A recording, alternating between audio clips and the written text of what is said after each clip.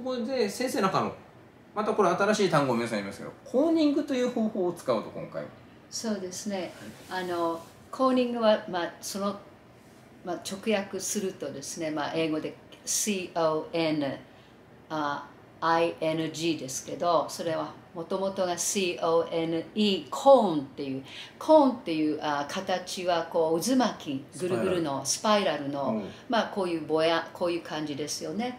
あのまあある種ちょっとあのかなんていうんですかあの、えー腸がなんだっけあの、えー孵化する時のさなぎっていうかあの青虫がね、うん。あのこうこういうなんかまあいわゆるその中でささなぎのような形まあ、そそれもっと丸くてもいいんですけどイメージ的にそのそこにこうエネルギーがぐるぐるぐるぐるこもって入ってるっていう感じをさなぎってそうここねスパイラルなんですねあれも。うん、それでトランスフォーメーションでしょ？変化でしょ、青虫が蝶になるんですから、おー。ね。じゃあコーニングっていうのはスパイラルという意味。スパイラルですね。スパイラルエネルギーですね。だからその太陽も一番やはりエネルギーとしてはまあ火力もああ水力もあるし風力もあるけれども火力っていうのも全て燃やしてはい。灰にしてしまう強い強い破壊力っていうかはエネルギー。だからやはりそのコーニングってそのエネルギーをえー私たちもエネルギーを投入する、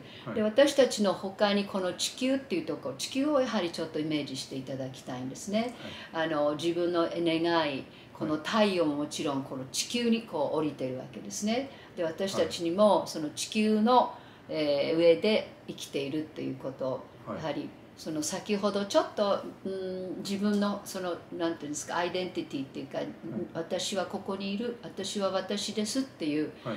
自分のが主役だっていう意識がちょっとあー弱いっていうか、はうん、私はそんな器じゃないわっていうのはちょっとこうちょっと引っ込んでいるような、うん。あの態度っていうんですかそれは、まあ結構好まれるかもしれない。ね、うん。優しいっていうか、はい。あまりこう私私じゃなくて、はい。でも今回のその DDP をねはい。作る時はもう絶対自分は唯一無二なんで、はい。同じ願いの人がいるかもしれないけれども、うん。同じね結婚したいとか、はい。でも自分がはいやはりその主役で、はっきりとそこの主語の部分ね、うん。私がこういう結婚をしたいっていうの。を、うん。なるべくディテールわかるかな？詳細にわたって、はい。さっきのディテール。うん、ディテールね。車だってだから2ドアなのか4ドアなのかセダンなのかスポーツカーなのかっていうのはやっぱりその詳細はい。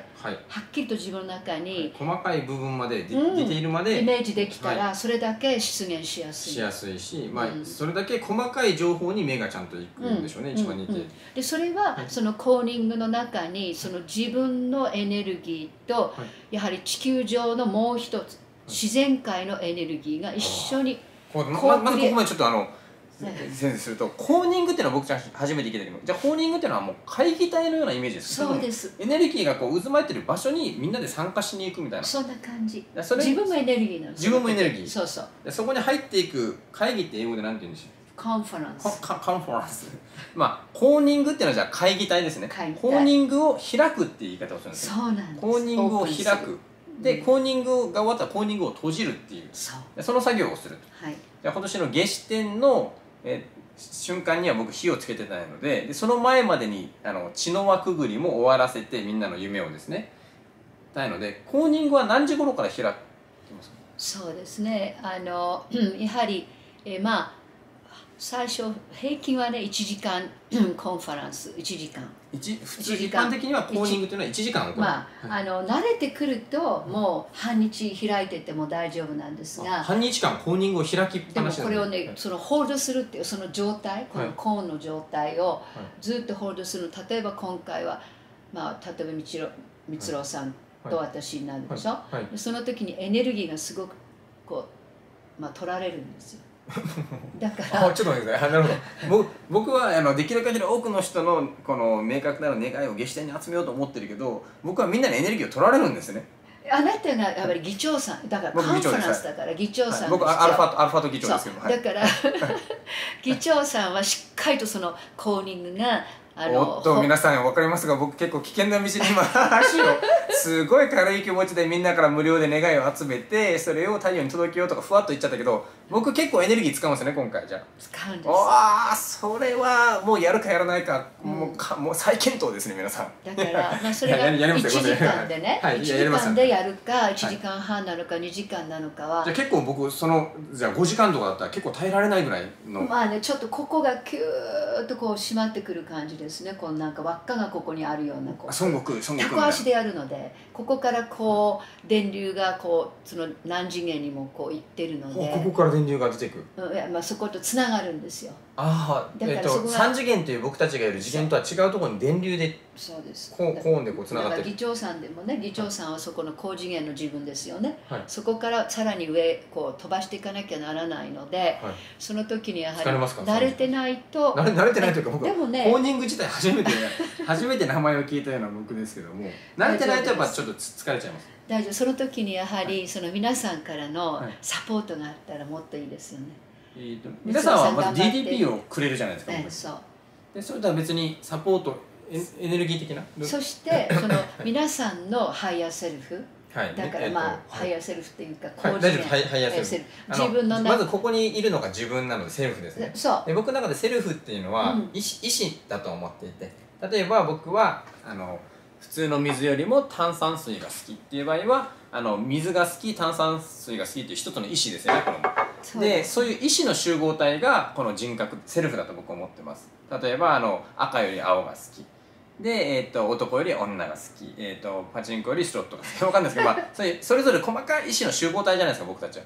なのでセルフって簡単に言いますけどじ自我だとか自己って何かって僕が説明するとそれは一つの方向性を一つずつ選んでいった集合体だと僕は思っていてでそれを超えるっていう意味でハイヤーなんですよ。あの、うん。その超える。例えば僕は炭酸水だけが好きっていうのが僕のセルフですけどもそれに対していや水もいいよ炭酸水もいいよっていう部分がハイヤーなセルフなわけです。うん。で説明すると僕ここに5つの指がありますよね。親指くんは多分親指だけで生きてるって思ってると思うんですね。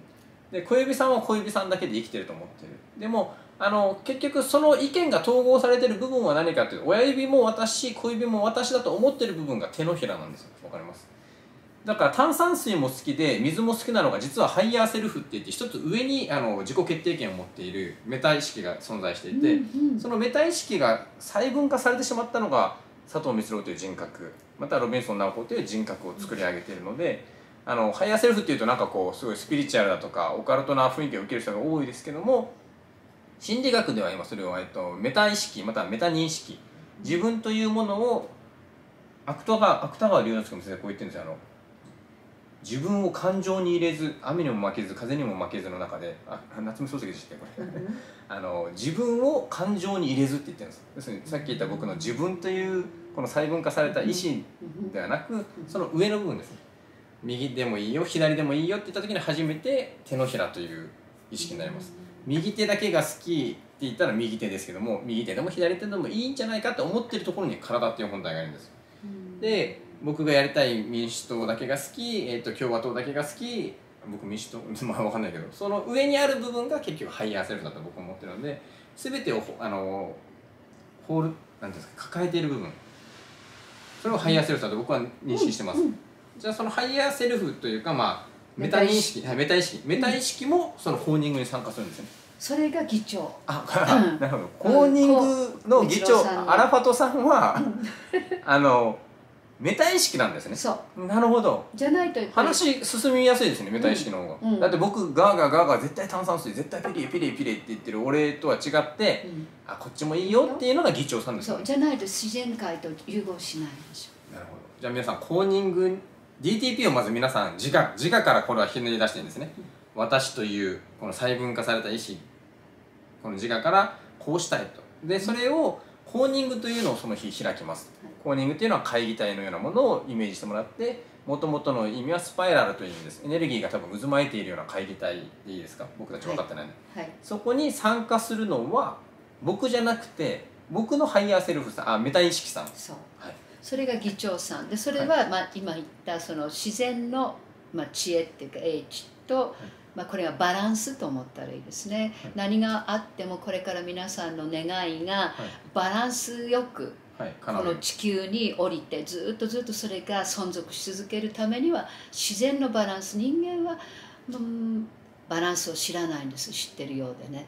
知らないですよ人間なはい。だから自然地を置いて入れてそれこの会人間値とうん。自然値があるんですか、うん。まずそこもちょっと説明しても。らそう、まあ、会議の中に、まあ、その民主党としゃなんかなんとか党でもし、ねはい。まあ、その両党のそのこっちが自然地でこっちが人間地っていうふうに思っていいと思うんですよ。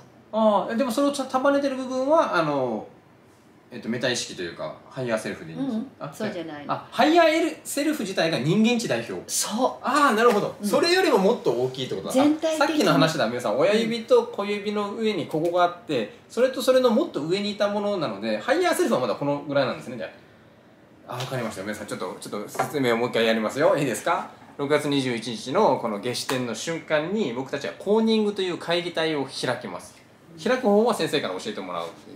でこれから開きますよって言ったらそこに参加するのはまずまあ、僕だったら僕という人格の一つ上にいるメタ意識ハイヤーセルフという部分です。僕よりもあのこいつは先生あのあまり自我がないですよね。自我っていうかこだわりがないですね。うん。だけどそれでもこのハイヤーセルフさえもやっぱりバランスをあまり取れてないとまあねこの今肉体に入っているから肉体に入ってるっていうかつながってるからね。人間として現れてる時はやっぱり左右されるんです。ああなるほど。すごい話聞いた。じゃあそのそこからじゃあ人人間値。うん。でそれ知っていうのは知恵の知でね。そうです。人間値。それに対してまたバランス取るためにこっちが自然値。そう。そのまあ二党っていうかそれがこう会議に出席するんですね。じゃあこいつ全然議長でも何でもなかったですよね。こいつ参加者ですよねまだ。うん、でもね、はい。そのこの光郎さんの今回はそのメタ意識が議長さんをやることではい。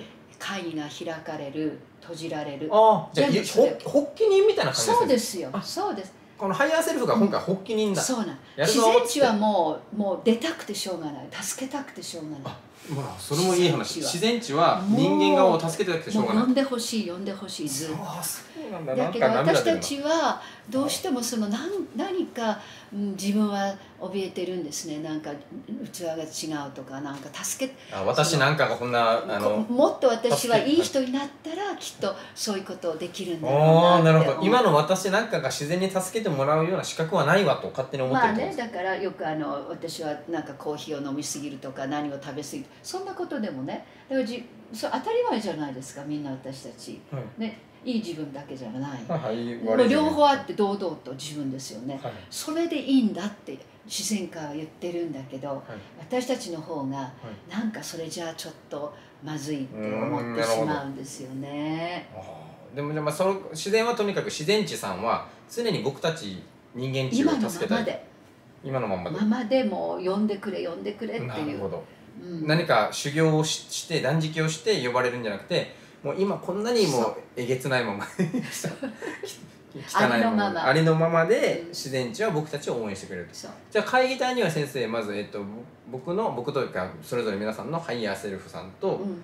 でえっとだからそれを借りてこなきゃならないの光郎さん。ここが勝手に、はい。勝手に何々さんのあのそのメタ意識を、このコーニングのカンファレンスにはあの勝手には入れることできないですからその方、はい。あの願いを届けてくださった方は D- DDP を今回、えっと僕まあ、そう。1000 1000人1万人から集めるとして、その時にはもう私のメタ意識も使っていいですよと、すごいことになりました。いいですか？DDP の受付フォームに、えっと今下の方にレ点のチェックが入りまして私のハイヤーセルフを佐藤光雄に貸しますって。いうそうその1時間。ここお返ししますから。おお返ししますから。これちなみに返さなかったら僕どうなりますか？もうあの辛いです。僕が辛い。返しますから。一瞬ですぐ返しますから。5, もう。5分で返す可能性ありますから皆さん。あじゃあ皆さん、えっと、今回 DDP といって明確な意思を僕に預けるにあたって私のハイヤーセルフを佐藤光郎に何時から何時までの1時間お貸ししますってじゃあ承認を求めた方がいい、まあ、結局皆さんがこの肉体を持って一緒に入れたらいいんですけれど。ああなるほど。その場所に本当にいるんだったら別にそんなことしないでいいけども、まあ、うん、今回コロナでだ来れないから。そうそうそうそうハイヤーセルフを派遣してもらうみたいな。そうです。あだからオンライン参加みたいな多分そうですあそうです。何もあのおおかしくならないですか大丈夫。ですでそう皆さんの不安は自分のハイヤーセルフがいなくなってる間、なんかそうなんか自分はなんか損してる気分。透明人間になっちゃうような感じ、そんなことないそんなことないハイヤーセルフはあの多分時も場所も超えて全体的に存在してるからこっちにいるあっちにいるじゃないからもうこっちに貸してもらって大丈もうさんをサポートするっていう感じですなるほど。スクリーンの向こうでじゃあちゃんとレ点のチェック入れましょうね。私のハイヤー、ねはい、私のハイヤーセルフを何時から、うん。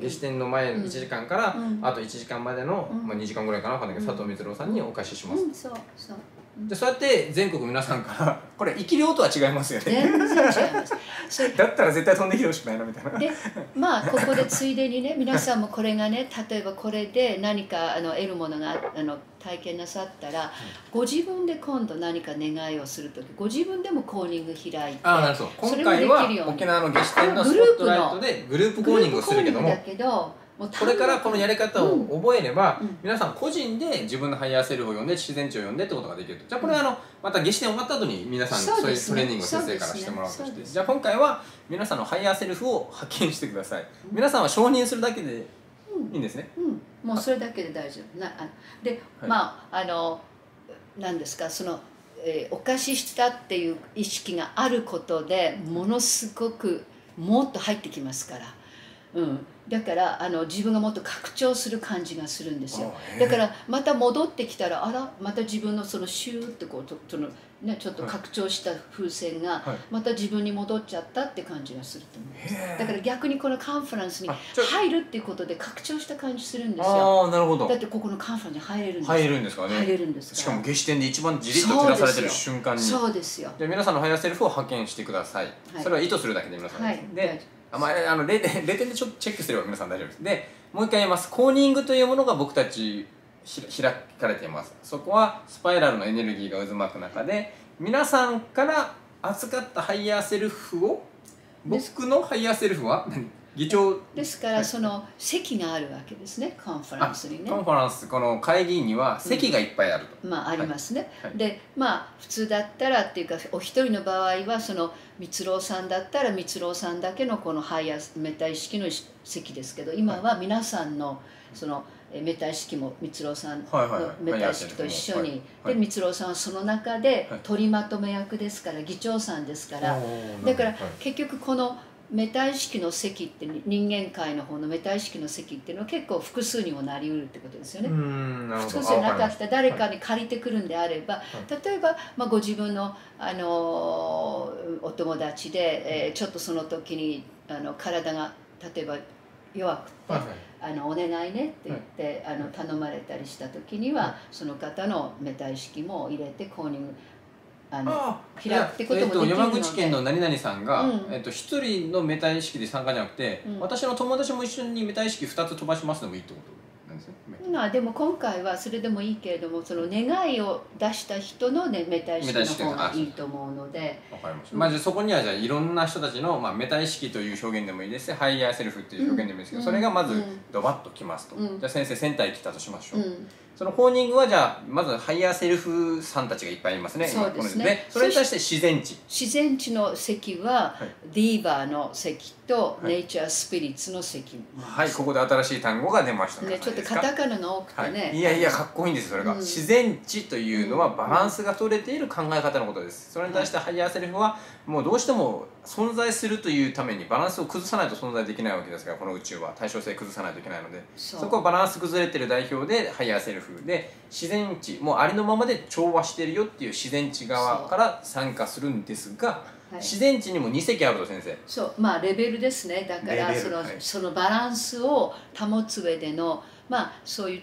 あの自然界っていうところは皆さんの見てる海とか山とか林森、そういうその物質的に現れている自然っていうのもありますし、はい。その全て現れて形を持っている、はい。その、えー形を表すっていうそういう、えー手段っていうかその方法はみんな自然値が持ってるんですよ。だから、私たちは人間は全部形作れる。この机も椅子も全部人間が、まあ、ど誰かがデザインをしてそしてそれを作るっていうこと。けれどもこの、えーあらこれがこう出来上がってきたっていうそのうその現れ方は人間が作ったかのように見えるけれども最初に頭にこういうデザインを描いて、そして材料を集めてきて、はいそしてその作るまでの過程で、いかにその自然に関わ自然からもらってるかっていうのを人間はあまり意識しないで作ってますよね。だけどそれはもともと自然界に雛形があると、んバランスです。バランスがある。だから同じ作りでも、はい。その人自然地を入れてはい。作った椅子と、はい。自然地を無視して意識せずに、DDP を考えずに、はい。これ作れますよね。はい作れます、うん。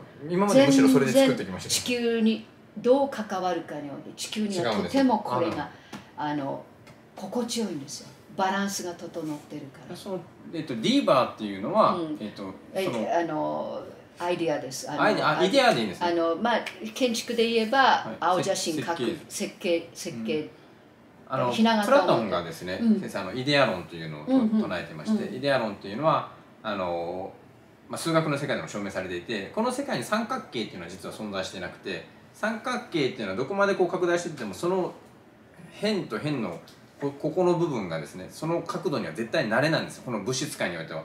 だけど三角形があるような気がしてるけども僕たちは三角形すらない。丸例えば深淵。完全なる丸なんてここにないんですよどこかが絶対に超多角形でずれてるんですね。どんだけ深淵を作っても。うん。要するにこの3次元にあるものっていうのはイデアという本質の世界の転写であるっていうのがプラトンの考え方であって、そのイデア界っていうのは本質が揃っているものたち、うん。あのその世界。うん。それが転写されて、まあ、偽物だけど三角というものを初めて僕たちは認識できる。うんそのイデア界にあるひな形エネルギーの主体この形として現れる前のこの概念的なものがディーバーですかそうですね。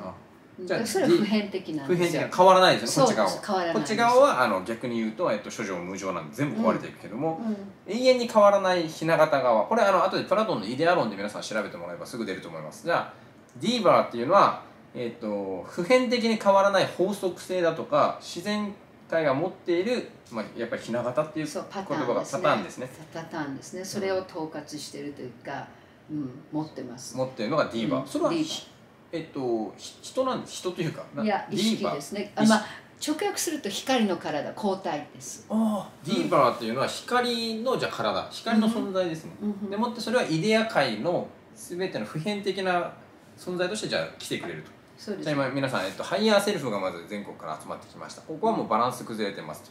それに対してバランスの世界である自然地から人に来てほしいんですけども一つ目が自然地から、まあ、本質が集まっているイデア界から来るというディーバーさん。光のえ体ディーバーさん、でもう一つはもう一つがネイチャースピリッツっていう。ネイチャー、まあ自然の自然のまああの精霊たちって言いますか。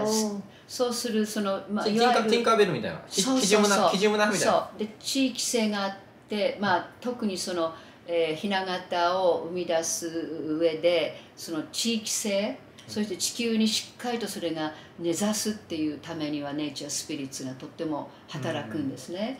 さっきのじゃあ、えっとイデア界、はい。本質の世界には三角完全なる三角形というのがあるんですねで僕たちこの現実界ではそれを作れないんですけども、さ完全なる三角形ディーバーも青森県で作る三角形と沖縄県で作る三角形がちょっと違うって違いううことですね。そう。そうです。で自然の完全なる不変なるルールがあって、うん。でもそれを青森に種を落としたら青森の形になっていく。そうそう。で沖縄に種を落としたら沖縄の形になっていく。そそこら辺がじゃあ地域性を持っているって先生が今おっしゃったのはネイチャースピリッツの方なんですね。だからまあ建築でその青写真を描いて、はい。でそれを内工務店がね内装とかやりますよね、はい。大大工ね、はい。はい。そっちの方がネイチャースピリッツですね。はい、わかりやすかった。うん。あの設計図は一つのくせに、うん。あのアバウト工務店さんとあのなききアバウト工務店でちょっとあれですけどきっちり工務店だったらちゃんとこっちの方がきっちりしてる。そうそう同じ設計図を見てるのにちょっと違うよ。違うでしょそれがじゃあネイチャースピリッツってことは人がいっぱいいますね。そうなの。八百万リーバーは一つの神様一つですけど。そう。あ八百万の神様これが神様でだから、はもうわからないですよ私たちには。誰が誰を呼んだらいいか。なので統括さんのパン。おっとまたいやちょっと待ってください。まず先生い,、はいい、いいですか？でも皆さんパニックにならないでね。えーっと八百万の神様なのは分かりました、はい。なぜなら設計図は一つだけども地域性場所によって使い方が違うから、何工務店なのかで違うと。それがもう八百万って800万って意味ですから、うん。要するにいっぱいあるよと、うん。いろんなネイチャースピリッツがあるよと。ただ僕たちのような人間値ではこの会議体コーニングにじゃあどの工務店を呼んでいいかすらわからない。まあね的確なって言ってもいいんですけどその的確なの中すらもちょっとこう私たちもうーんって感じだと、もうパンっていうもう統括さん。それを全部統ねパン。括 PAN さん、うん。この方は先生ネイチャースピリッツたちを統括している人そうがまたいる。全てのネイチャースピリッツのまあ統括さんですびっくりでしょ皆さん。ん新しい単語いっぱい出すぎて。でも辞書に載ってるんですよ。辞書に載ってるんですか？あの男なのか女のかわからないようなあのグリーンの、みまあ、色色がついてる辞書であれば緑の,、へうん、あの面白い形で僕たち全然勉強してなかったですね皆さん。辞書にも載ってるんですよパンは。じゃあ PAN さんは八百万の神の代表。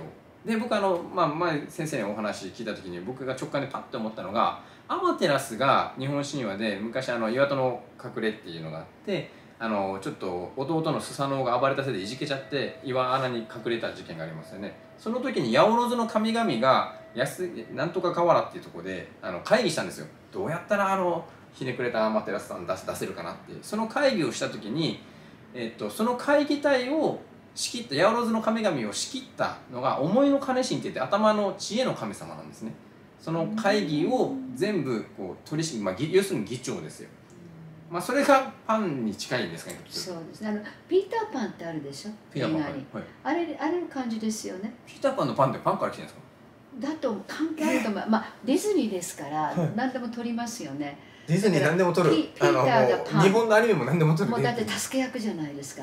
だからティンカベルがね、うん。ちょっとこうあのネイチャースピリッツでピーターパンについて歩くっていうのもなんかじゃあそうだ。ディズニーだってすごいですもん。たまに、うんあの水は全てを記憶してるっていうあの映画を最近出したし何だったかな。うん「アナと雪の女王」って映画を見たら、水は全てを記憶してるっていう、うん。もうすでにアクアフォトンっていうこの学会でなんかやられてるようなことをうんさらっとなんかアニメで言ったりとか、ピーターパンパンですよじゃあ絶対、うん。パンダピーターっていうふうに英語で言うとね、あそうピーターパンって英語で言うと何,、ね、何ですか、うん、だからパンダまあピーター私たちだとピーターパンでなんとなくあのピーターが名前でパンが生とかね生命っていうふうに思うけど、あのあのイエス・キリストも Jesus the Christ っていうんですよね英語で言うと。はいだから、まあ、イエスっていうのは Jesus ですよね、はい。The THE ね、The Christ だからジーザスってイエスは名前で、まあ、いわゆるあの、まあ、地位が身分が低いから生は持ってない、だからクライストっていうのは位でしょ、はいそれだけ成人になられてのクライストだから、Jesus the Christ だからピーター the パンですよねだからパンなんですよ。ピーターとパンなんですよパンっていう名前で現れてあの映画いに現やーもうわかこれ今日分かりやすいやつ出ましたね。じゃあもうパンはもう皆さんピーターパンです。よピーターパンだと思ったらでしかも緑色で辞書に載ってるってのは間違いないです。じゃあここまで先生あのコーニングのうん。ちょっとメンバーを紹介しますね。もう皆さん今パニックですから、はいえー、と夏至の瞬間